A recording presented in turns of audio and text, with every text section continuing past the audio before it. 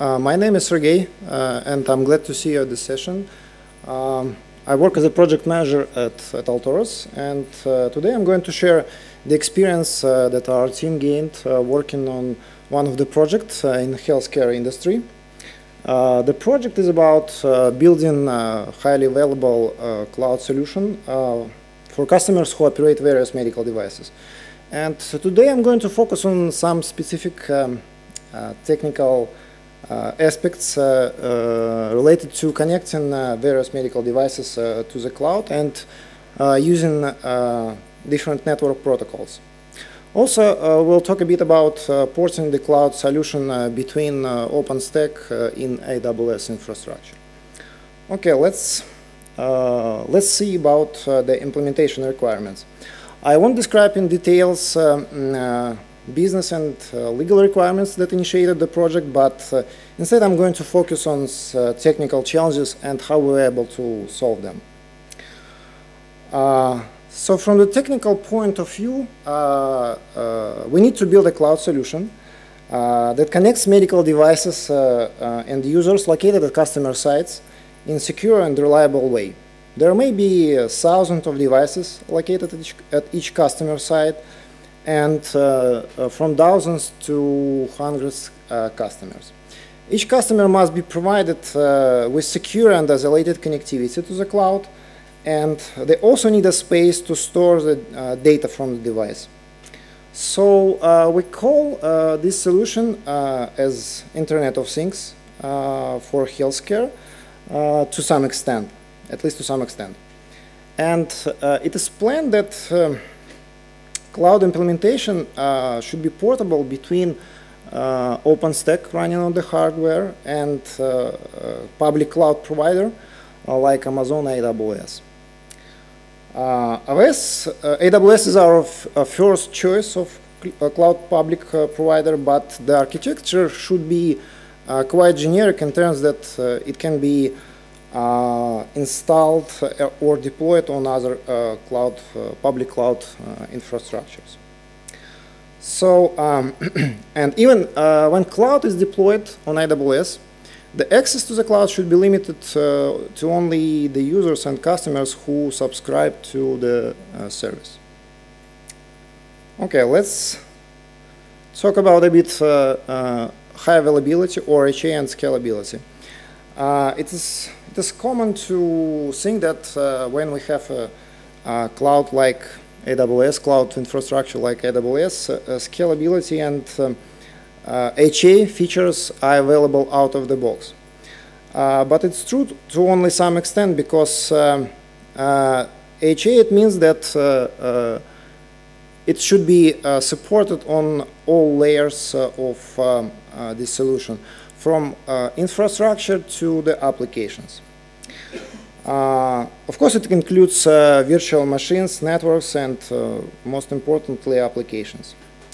Uh, when we talk about uh, AWS, probably we don't care about the physical networks, servers, switches, and redundant power supplies. But it's a very common case when in AWS um, sends the notification about the retirement of uh, virtual machine and we need at least uh, uh be able to migrate the virtual machine uh, without uh, downtime to applications and services. A few words about the security. because it is a healthcare and the security is essential part of the business, um, the main mode to connect to the cloud is the VPN mode. Um, so there are various devices uh, in, uh, uh, located at customer sites, and they operate WebSocket, TCP, and HTTP protocols. And uh, what is interesting that uh, uh, old legacy HTTP devices, they have bidirectional mode. It means that the device can send a message to the server and Uh, server as well uh, can send a message to the device, uh, which is uh, mm, uh, which works well in isolated network when there is a direct routing between device and the server. But it's challenging to solve this problem in the cloud. We will see a bit later how we designed the solution for HTTP devices as well. but at the same time, uh, non-VPN mode should be provided as well, at least uh, when we have a cloud in AWS and we have a public uh, endpoint which is protected by the list of, let's say, IP addresses for customer offices who are allowed to connect to the cloud. Uh, so there are there, this is a kind of mixed mode to access the cloud. The VPN access uh, uh, to connect to uh, private, uh, private IP address space and uh, public access. Um, it, it's quite obvious that we talk about moving cloud implementation between several infrastructures. In our case, it's OpenStack and AWS. Uh, Cloud Foundry is uh, one of the best choice uh, to use as a, a, platform for applications. But it's maybe challenging to configure a highly available Cloud uh, Foundry deployment, uh, uh, especially on OpenStack. We'll take a look closer on the next slides and, the, and how Cloud Foundry components are distributed on OpenStack virtual machines and the physical nodes. Uh, Cassandra is, uh, is the choice uh, for many projects where there is a need to store the data from devices because it's uh, almost unlimitedly scalable. And uh, in our case, uh, we did a lot of benchmarks with Cassandra to identify the performance of uh, a cluster uh, on, on, virtual machines on OpenStack. And uh, it was, we, we found that it is enough to run Cassandra on, on, virtual machines to process and store around um, two or three thousand uh, messages from uh, with device uh, data per second. Uh, but according to DataStax, it's not a uh, good or best practice to run uh, Cassandra on virtual machines. and we also evaluated additionally Cassandra on OpenStack bare metal. Uh, OpenStack bare metal support is available uh, from OpenStack version 8 uh, with the project called OpenStack Ironic.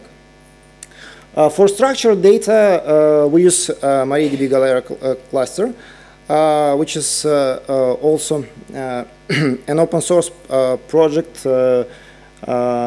used um, in many solutions. for example, in OpenStack, the database uh, that contains uh, all the configuration of OpenStack services. Uh, it, is, it uses MariaDB cluster.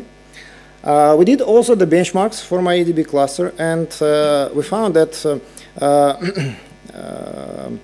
the performance of MariaDB is uh, much uh, less in terms of um, uh, DML operations comparing to Cassandra. Uh, but in, uh, it was enough to our use case where uh, most of operations uh, are read operations. Uh, and uh, MariaDB cluster, it scales for read operations, but it doesn't scale well for insert or update operations. And um, in our deployment, we just tuned or updated several configuration parameters for MariaDB uh, that uh, controls uh, the behavior of commit transaction. Uh, RabbitMQ is also um, the key, is all the solution that we use for um, as the message queue to store um, data uh, messages from devices uh, for uh, subsequent processing. Uh, and uh, because all the messages uh, from devices they hit the RabbitMQ, the performance of RabbitMQ should be also around several thousand messages per second in terms of being able to store message, a message in a, RabbitMQ and uh, to retrieve the message from the RabbitMQ. ELK stack is uh, uh, our choice for Uh, storing uh, application uh, logs, and it is integrated with Cloud Foundry. Um, Kibana is the web interface, probably so, who were on our booth seeing the web interface of Kibana. and um, The Kibana web interface allows to access uh, application logs uh, in easy way to do uh, full context searches. And it is protected by default. Kibana open source project does not have any authentication. Uh, and we added uh, the plugin uh, that allows to, to protect Kibana web interface by with Cloud Foundry authentication. And uh, it also allows to filter um, uh, the data uh, that are stored in Elasticsearch cluster uh, uh, to the data that should be visible just uh, organization and spaces in Cloud Foundry that is allowed to the user who to the to the user of Cloud Foundry. Um, we also found that uh, the most uh, critical uh, part of ELK stack is the logstash process, uh, which is quite slow because of the set of rules. And each rule in logstash, it, uh, it is processed uh, and let's say if an application generates like a, a million of lines of log output in, the, in debug mode, um, it puts um, a big workload on uh, Logstash uh, processes. So in uh, our development uh, deployment, uh, which we use as well for, for the testing, uh, we run from 6 to 10 virtual machines for Logstash processes. But it's flexible when ELK deployment is managed by, by BOSH. we can spin up new machines for the Logstash dynamically. And uh, most of the uh, monitoring and alerting features uh, is uh, um, um, provided by Zabbix. So we have a separate server for, for Zabbix in installation and uh, it contains a database. Uh, the database grows very fast uh, if we collect all parameters from the hardware, OpenStack nodes, and if we collect parameters even from the Cloud Foundry jobs. So let's see um, uh, the deployment uh, diagram or deployment view for uh, our OpenStack. Um, when it comes to OpenStack, we need to choose, of course, the hardware where to deploy an OpenStack. And one option is to use uh, the Blades chassis. There are a number of vendors uh, who provide Blades chassis. Uh, these are uh, HP, Dell, uh, Supermicro, at least uh, these are vendors that we were evaluating for our de development environment. And um, but the recommended deployment of OpenStack it, it's vendor neutral, I would say. to achieve high availability of OpenStack deployment, we need to use um, three physical nodes, three physical nodes uh, for OpenStack management components, they are in yellow on uh, my slide. And uh, OpenStack compute services, uh, these are the services that are responsible to run virtual machines on OpenStack. Uh, uh, they are distributed across three availability zones. In our case, three availability zones, they're represented by nine boxes in gray. And uh, each availability zone is a group of uh, physical uh, nodes or physical blades in the hardware. So if we need to extend the capacity of uh, OpenStack deployment, we just add a new blade uh, uh, or new chassis with blades connected to the networking and extend the capacity of our OpenStack deployment. Also in OpenStack, we have a storage services uh, there are two major storage services. Uh, Ceph, it, it is a service that provides uh, volumes uh, for, for virtual machines. Uh, and the second one is Glance uh, that stores virtual machine images. And Swift is optional because it, it provides OpenStack, it provides object storage in OpenStack. Uh, also, we have uh, additional uh, services. We call them administrative services. The, these are uh, domain name uh, services, um, uh, time service, and mail service. Uh, we deploy them on uh, separate nodes, and also at least uh, two machines are dedicated for these uh, services uh, to achieve uh, resiliency for these services.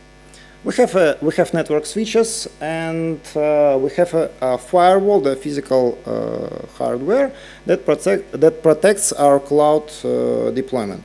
Everything is installed in a data center, in in in, in data center um, cabinet with redundant power supplies.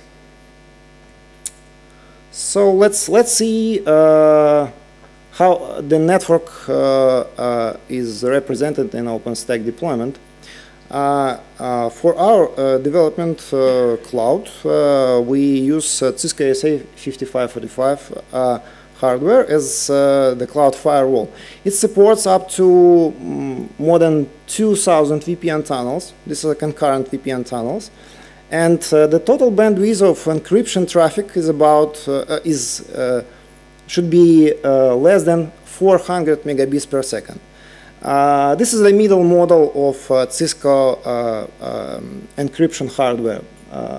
and if we need to support more VPN tunnels and more bandwidth for encryption traffic, then let's say we can use Cisco ASA 5585. Uh, what is important is that uh, uh, it provides connectivity to uh, personal user accounts um, uh, for administrative access uh, to the cloud, and it also provides access for site-to-site -site VPN connection between networks. So when we need to connect um, a remote network to the cloud, we use site-to-site -site VPN.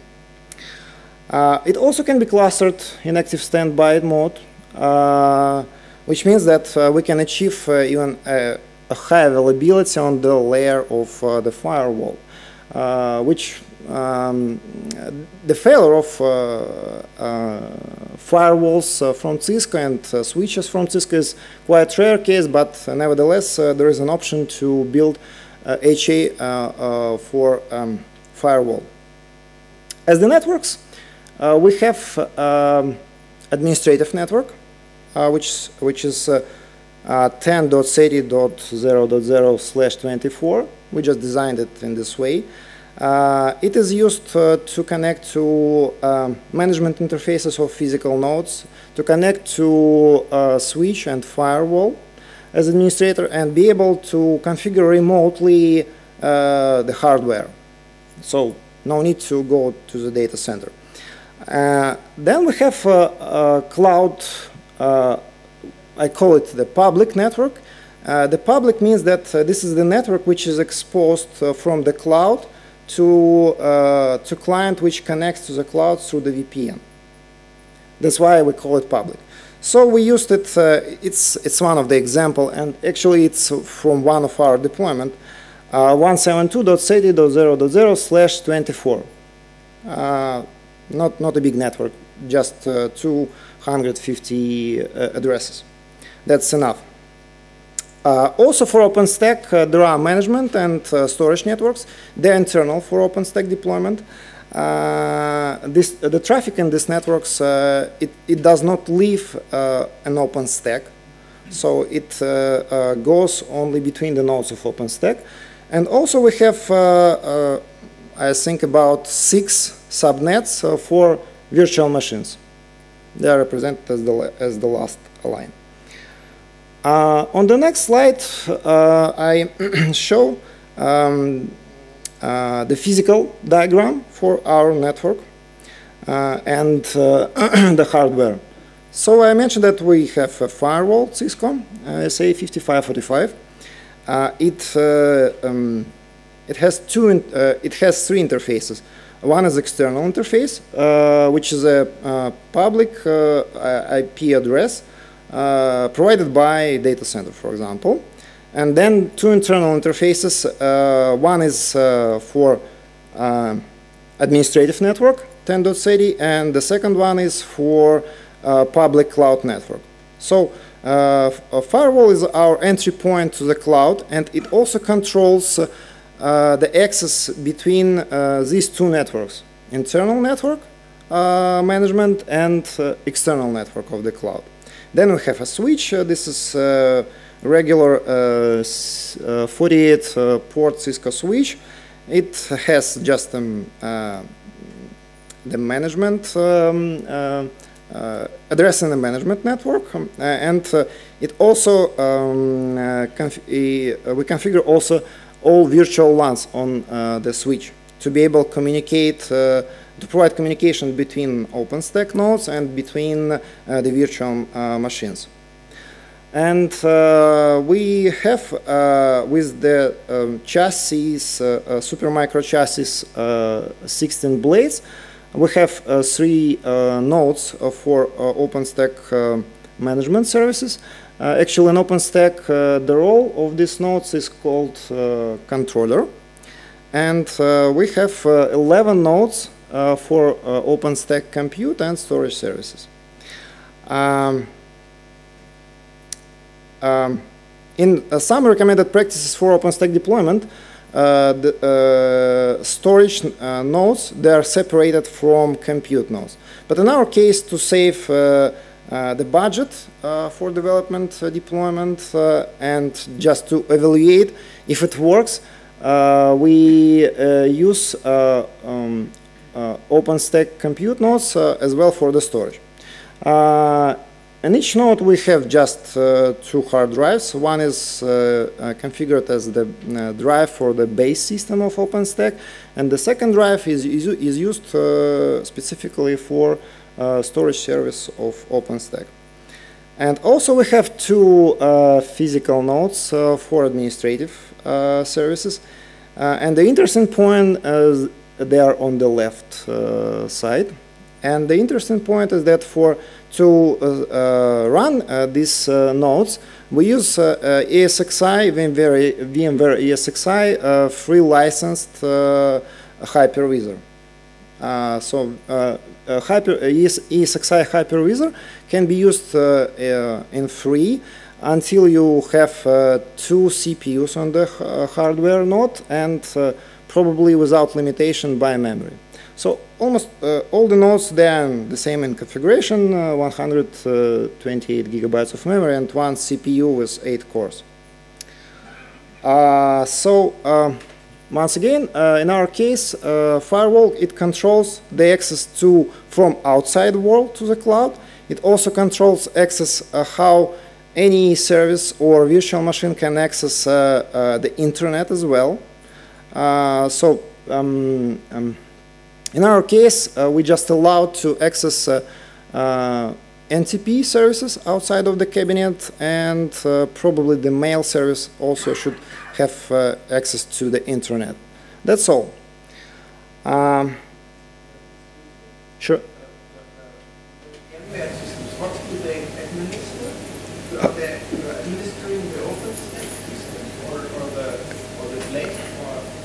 On VMware, we have several virtual machines. Uh, one virtual machine uh, is used uh, for OpenStack deployment tool. Uh, in our deployment, we use uh, Mirantis OpenStack, and it has an op a fuel project or fuel tool that is mm, GUI-based tool to deploy OpenStack and to manage OpenStack. So we spin up uh, an OpenStack. Yes, the answer is we spin up an OpenStack from ESXi node. And then we run uh, uh, virtual machines for DNS, NTP, and SMTP services as well in ESXi. Okay, let's let's see uh, distribution of um, Cloud Foundry components and uh, our backend services uh, by uh, OpenStack availability zones. As I already mentioned, we, to be um, HA highly available on the level of services on top of an infrastructure, uh, we agreed to have at least uh, three availability zones. These three availability zones, they are a group of physical nodes on the chassis, in, in, in, in Blade's chassis. And uh, if we distribute uh, Cloud Foundry jobs uh, in this availability zone, in three availability zones, then we may presume that we will have um, HA uh, on the hardware level, on the platform level, and then we have think about the HA on the application tier. Uh, so in Cloud Foundry, um, almost all components, uh, they can be deployed with at least two or three instances.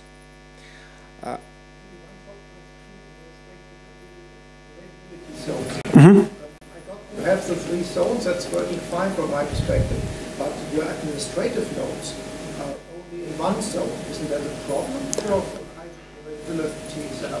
Mm -hmm. uh, that's not a problem because our administrative nodes, they, these are two, also two physical nodes, two physical nodes. And uh, virtual machines for, uh, for example, for um, uh, DNS server, we use uh, open, uh, open source Linux tool Bind, called Bind. it has master-slave configuration, and it allows to put the DNS records on master server, and then they are replicated to the slave server. For some services, we agreed that uh, we cannot achieve uh, configuration with two or three instances or virtual machine. And for example, in Cloud Foundry, um, these are database uh, that contains uh, all user records, all application, all application states. And uh, when we test it, if we lose the database, uh, uh, we cannot uh, push an application in Cloud Foundry, but we can access application. That's okay. That's okay. So for Cloud Foundry, we deploy um, application um, virtual machines for application containers in all three zones. Uh, uh, in our test, we identified that uh, to support uh, uh, from uh, about 50,000 concurrent connections from the devices, which are emulated, of course, we need around six um, um, six VMs for application containers, and each VM is uh, uh, 64 gigabytes of memory and about and as far as I remember, uh, 16 uh, virtual CPUs. That's okay. And another important component that should be made as HA is router, because it has a routing table uh, for all applications. It, it also uh, maintains all connections uh, between external client and an application. In the case of the device, WebSocket devices, they establish persistent connection. And this persistent connection, they consume, of course, memory, CPU, so uh, the routers should be uh, also adjusted. Uh, we apply the same principle of three availability zones to Cassandra, MariaDB, and RabbitMQ. That works well, um, um, uh, except of that uh, for Cassandra, we can extend uh, the cluster uh, uh, combining uh, virtual nodes into racks. This is a, a terminology from, from Cassandra rack. so in our um, test deployment, we have I think, six nodes of, of Cassandra cluster, two nodes in each availability zone. Okay, let's see uh, what is uh, outside of the cloud. Uh, I call this cloud resources. Uh, mm, so we have a VPN endpoint, which is our entry into the cloud.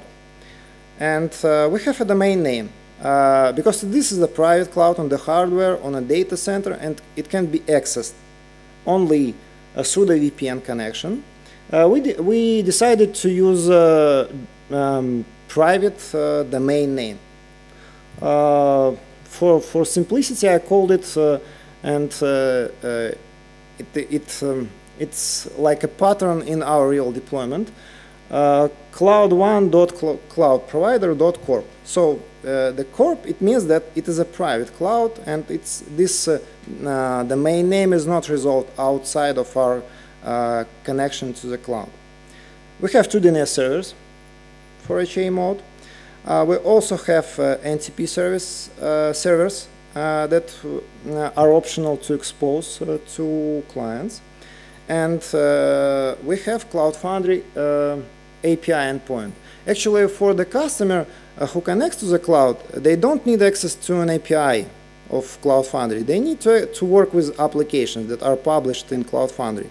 But because uh, when you access an application, you hit uh, uh, the endpoint of Cloud Foundry, uh, these are two addresses that I used to connect to Cloud Foundry API, and these are two endpoints uh, uh, to connect to an application, which is published in Cloud Foundry. Actually, it can be more than two.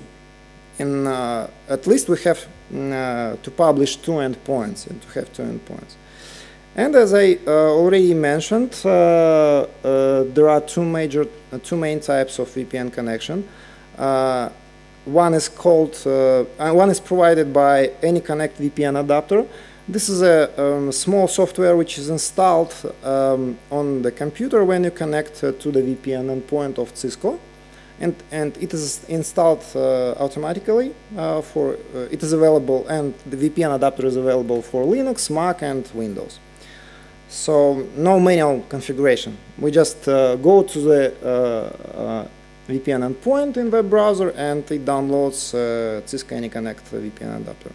And for the network, uh, we uh, set up site-to-site -site VPN connection, which is uh, uh, the well-defined process. Uh, so um, with the remote networks, we exchange with VPN template that defines all uh, VPN connection parameters, uh, and then uh, we exchange with security password that is used to establish VPN connection. For every VPN connection, the recommended practice is to use the password of less, at least of 20 characters. So it's two-step uh, process. Exchange the template and then uh, configure uh, the firewalls on both sides, uh, exchange the password, and uh, the VPN tunnel is established. Let's see what we have from the network perspective when we have VPN connections. on this slide, these two VPN types are represented. the um, uh, the purple uh, circle on the left side, it is a, a Cisco uh, AnyConnect administrative VPN connection. Uh, uh, for this connection, uh, we expose from the cloud completely two networks, the public network and internal administrative network. So it allows, using this network connection, to manage uh, all the physical hardware in the cloud and it allows to manage virtual machines, it allows to manage OpenStack, so uh, do any kind of uh, administrative actions. And uh, for the customer uh, VPN connections, uh, there are two um, situations. The first one is when the customer network does not overlap with our cloud network. And uh, uh, the second one is when the customer network can potentially overlap with the uh, cloud network. In the, in, in the example on this slide, the customer one uh, has an internal network, uh, 172.30, which uh, overlaps with our cloud network. That's the problem when you try to access any resource in the cloud using the same network address, which is inside uh, uh, our inside customer private network.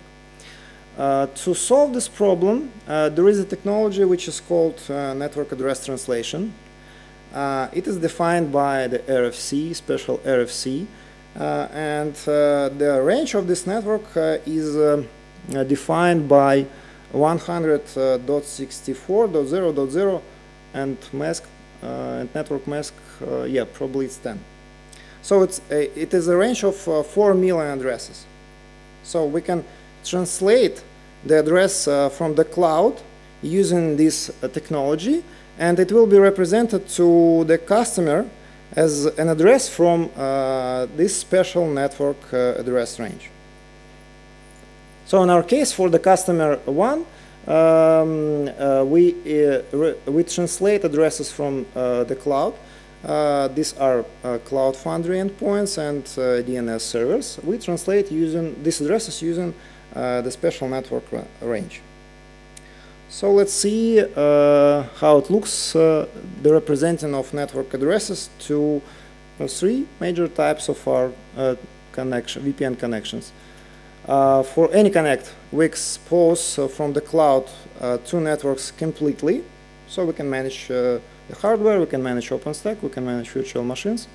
And when we connect using the VPN adapter, Cisco AnyConnect VPN adapter, uh, it establishes uh, uh, an automated way access to DNS servers and Cloud Foundry endpoints. So all domain name resolution, it goes through the cloud in the case of Cisco AnyConnect. for site-to-site -site VPN connections, we publish uh, on the cl on cloud firewall we publish only endpoints uh, for uh, DNS and for Cloud Foundry.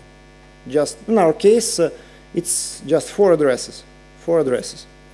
Uh, if the VPN uh, connection without uh, address translation, then we have original addresses 172.30 and the last the last number in the network address it represents the real address of uh, server in the cloud and with uh, uh, site-site VPN with address translation we translate these addresses to 100.64 uh, and the last number is the same in, uh, in addresses.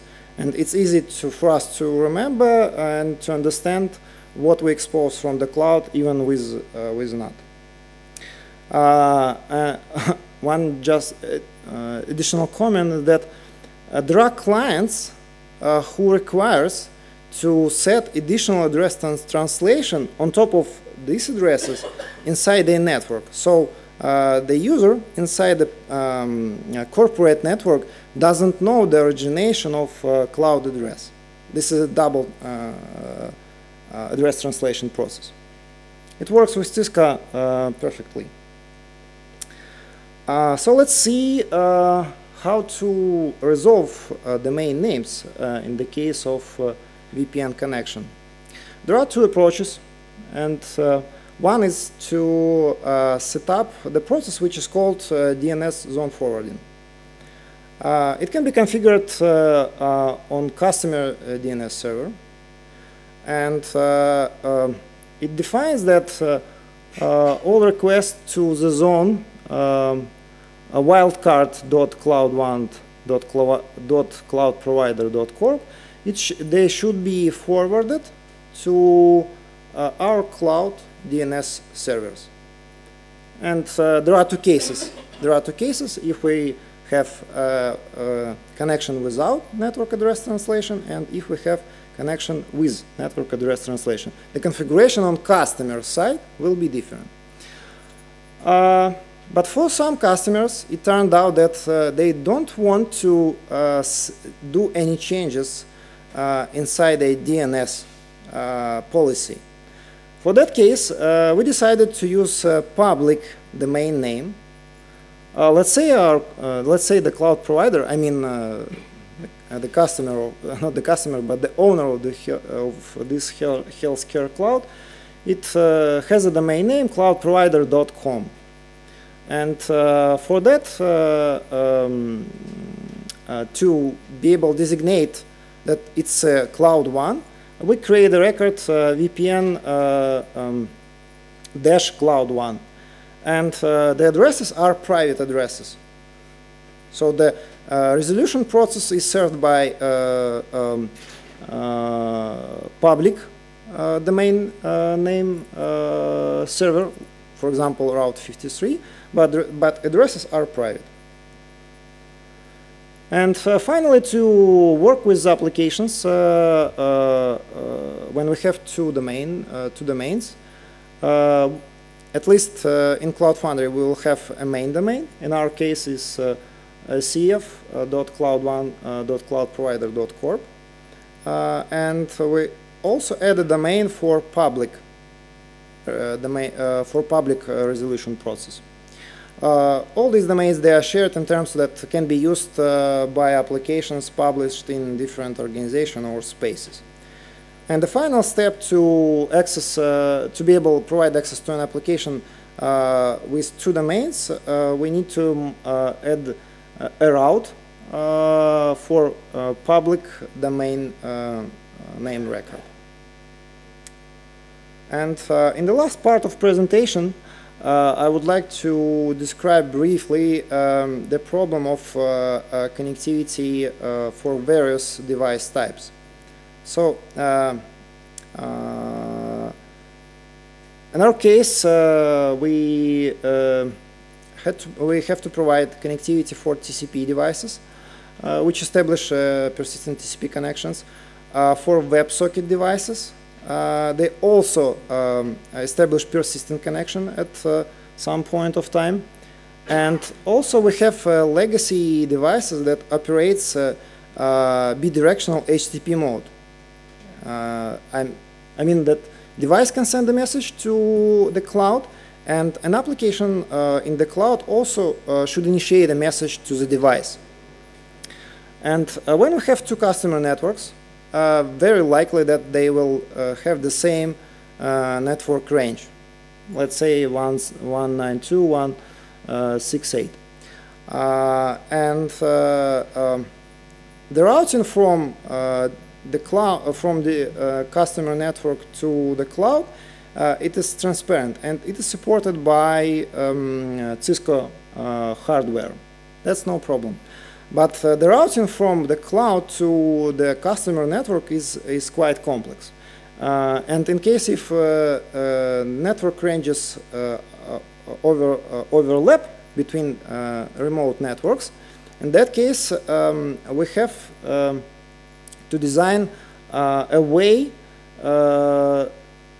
Uh, to uh, so the pair of device and uh, service in the cloud will be unique. And uh, uh, uh, we identify that we can do is we can do this creating proxy services in the cloud, and they map on this picture by the color. So from customer one network, we have device in the red color, and uh, in the in uh, our open cloud, opens open OpenStack cloud, we also have a proxy server uh, with with the red color. Uh, and uh, for one remote network, uh, there is enough to have just one proxy server. For the customer uh, 2 network, uh, we have a blue uh, box with the proxy server for this customer network. And it works. So it will work because the pair of addresses of device, proxy server, and VPN connection is unique for all connections. Uh, and uh, this is a quite easy implementation, and it works on standard IP with uh, version 4 protocol. Uh, uh, we uh, evaluated to um, solve this problem, we evaluated some expensive solution like Cisco application-centric infrastructure, but it turned out that they, didn't, they don't work as we expect. And uh, as, as, an implementation for proxy server, we use uh, open source NGINX. Uh, it can run on OpenStack, it can run on uh, uh, VMware ESXi. So in our case, to provide HA, uh, we started inside an OpenStack. And the last set of um, comments is about migrating the platform to AWS. So uh, our first platform was an OpenStack, uh, but then we had to migrate uh, to AWS. Uh, so in AWS, uh, uh, the architecture is pretty similar. The, we use virtual private cloud in AWS. And for virtual private cloud, we, right from the start, we um, decided to use a network which, does, which will not have an intersection with customer networks. This is a 100. In our case, in, this is a, this example from real deployment in AWS. We use 100.64 uh, as the network. Uh, and uh, it contains Cloud Foundry, all our backend services, and it also contains uh, proxy uh, for uh, old legacy HTTP devices. and for proxy servers, we just um, allocate a subnet within uh, VPC network uh, and uh, as the VPN, um, as the VPN, uh, we used Cisco ASA Virtual uh, Firewall uh, because uh, we found that we uh, uh, AWS uh, VPN gateway that is uh, mm, a standard way to connect uh, to cloud um, uh, based on the uh, AWS uh, recommendation. Uh, it does not uh, uh, fit to all parameters. Uh, uh, um, does not match all parameters required for the VPN connection. That's why we uh, decided to use Cisco ASA uh, virtual uh, firewall.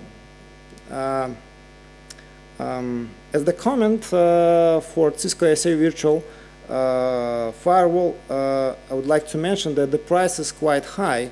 It's about uh, two dollars per hour, uh, which uh, um, uh, turns into almost the same price uh, uh, during the year as uh, the hardware unit.